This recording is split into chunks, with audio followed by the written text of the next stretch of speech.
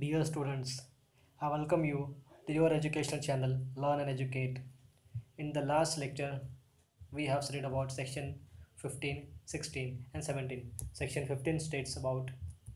the court in which suits shall be instituted. Section 16 suits to be instituted where subject matter is situated. Section 17 suits for removable property situated within the local limits of jurisdiction of different courts.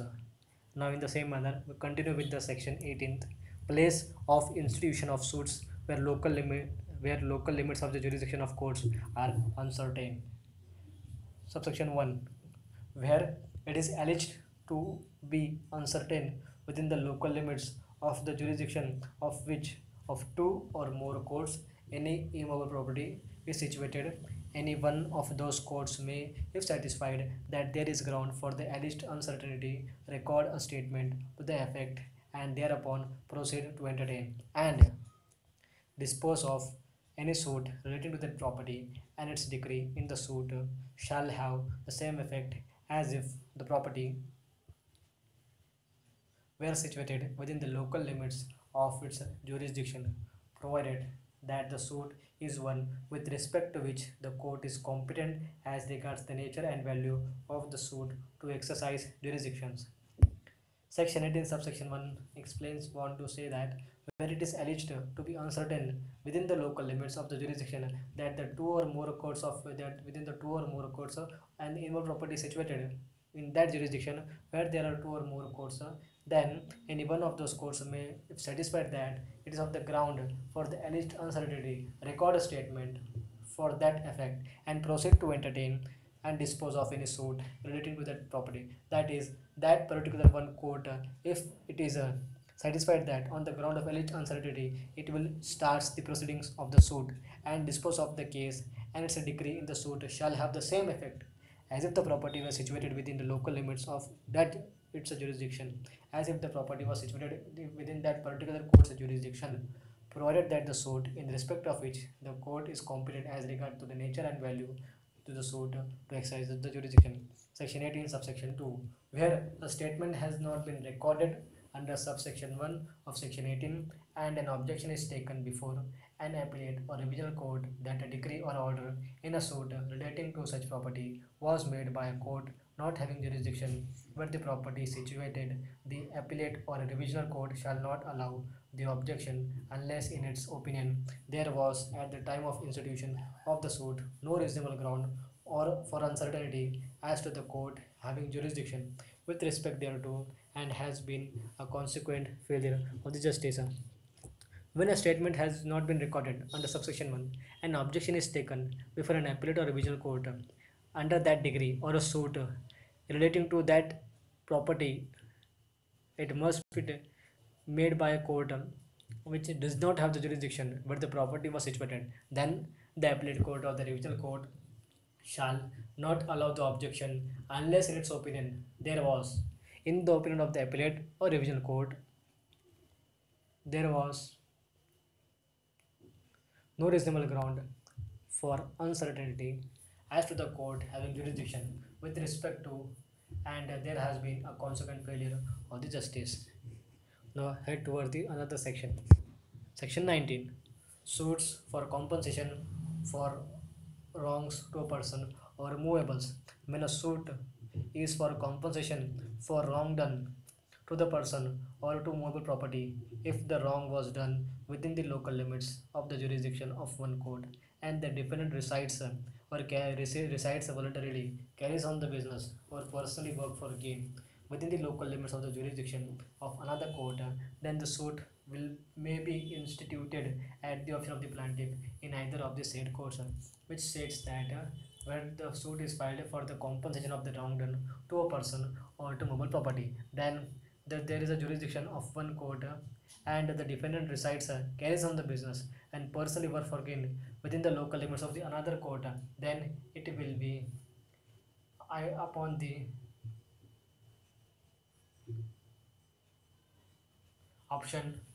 it that the option will be to the plaintiff that to file the suit either before the one court or the another court. Example, if A resides in Delhi, A residing in Delhi beats B in Calcutta, then B has the option to sue A either in Calcutta where B resides or file the suits in Delhi where the A defendant resides. Here plaintiff that is B has the option to file the case where he resides that is in the local limits of the court of Calcutta or in the uh, or in the jurisdiction where the defendant resides in Delhi. If A another example A resides in Delhi publishes in Calcutta statement defamatory of A B may sue A either in Calcutta B the plaintiff can sue A defendant in Calcutta where the plaintiff resides or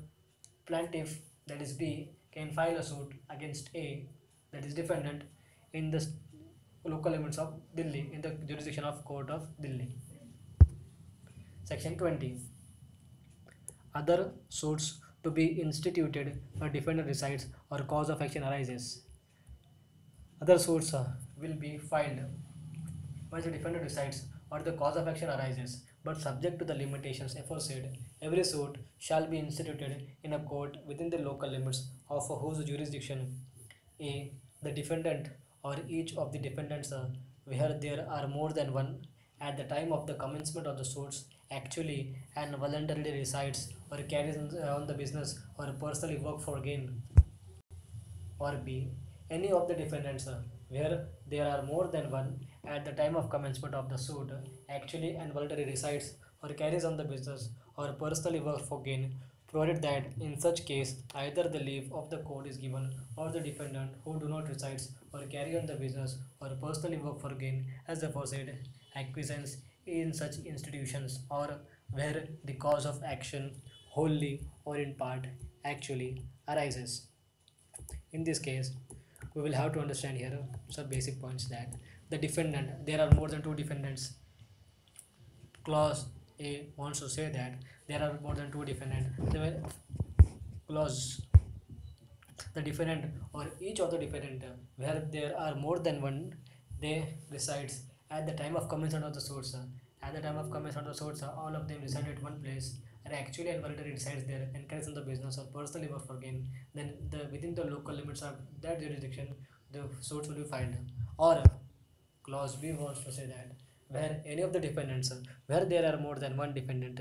at the time of commencement uh, suit at the time of commencement of the suit actually and voluntarily resides uh, or carries business or personally works for gain provided that in such case uh, either the leave of the court is given or the defendant who do not reside uh, carry on the business or personally work for gain uh, as aforesaid acquiesce in such institutions or where the cause of action actually arises whether in part or wholly. In the local limits of the jurisdiction the suit will be filed by the plaintiff. Section 21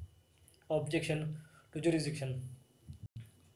Subsection 1 no objection as to the place of suing shall be allowed. The objection raised uh, related to place of suing the place of institution of the case suit will be allowed by any appellate or revisional court uh, unless such objection was taken in the court or first instance at the earliest possible opportunity and in all cases where issues are settled uh,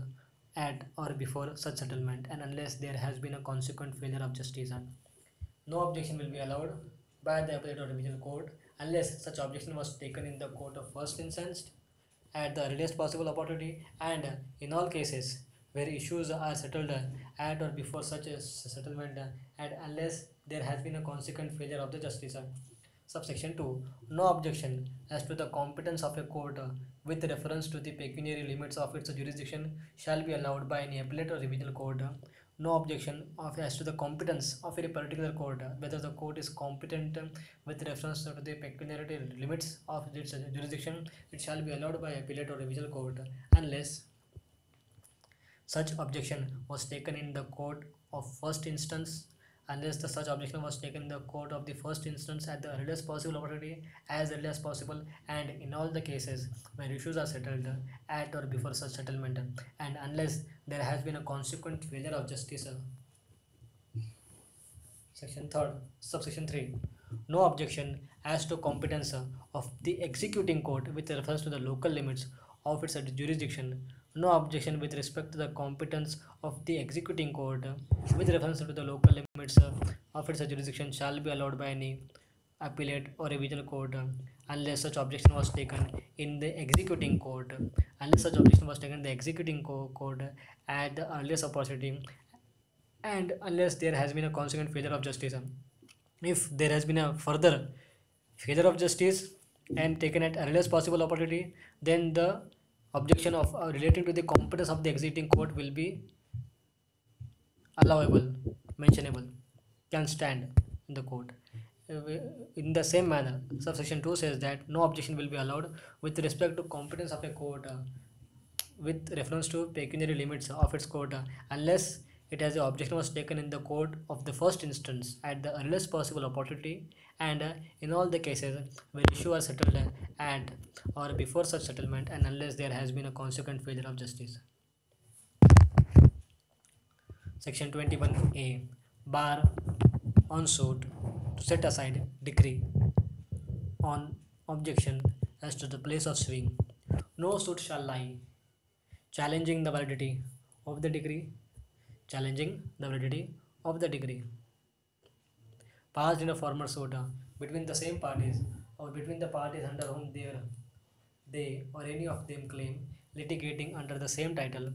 on any ground based on an objection as to the place of suing. No suit shall lie challenging the validity of a decree passed in a former suit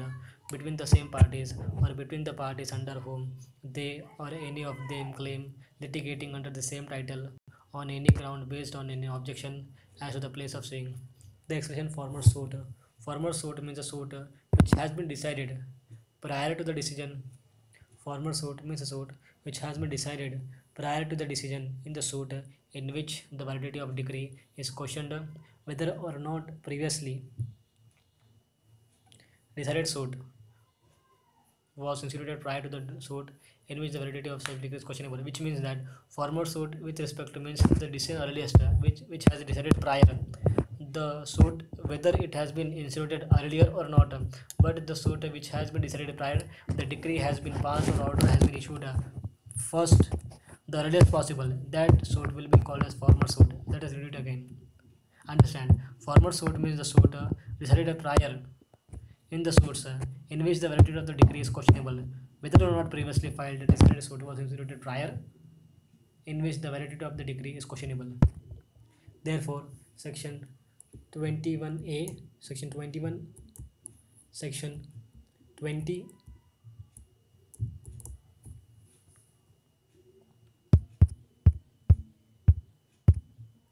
section 19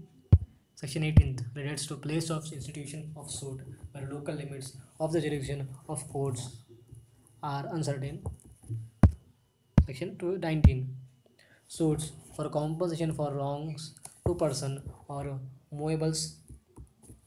then section 20